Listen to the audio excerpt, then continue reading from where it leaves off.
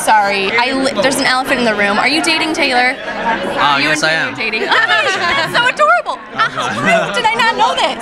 I was unaware. Gabby, you didn't tell me. I'm a little disappointed. It's their that's- business. I know. I'm just so excited. What it, like dance couples are like the most fun. So adorable. Okay, but anyways, tonight was really fun. But stuff's getting like real. People are going home.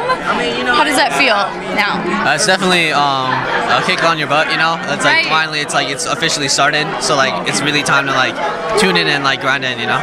Right, exactly. And and what's it like so far? I mean, you're you're becoming a part of this family, and now you're starting to see people go home, and it's weird. And you've been through it.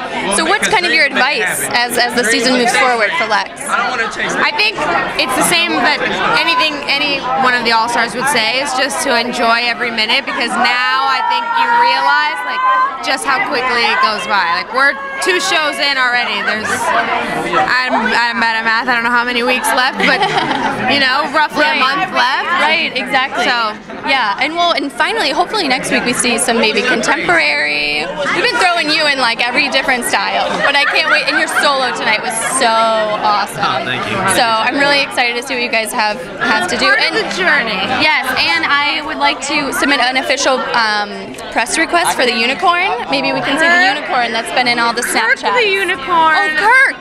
Kirk is his name. Oh, love that he has a name. Kirk the unicorn. I'll bring him next week. Okay. He's taking it out. Kirk will be here, you guys. We're really excited to see Kirk. Awesome. Thank you guys so much. Have a great night. Appreciate it. Bomb.com. Thanks, guys.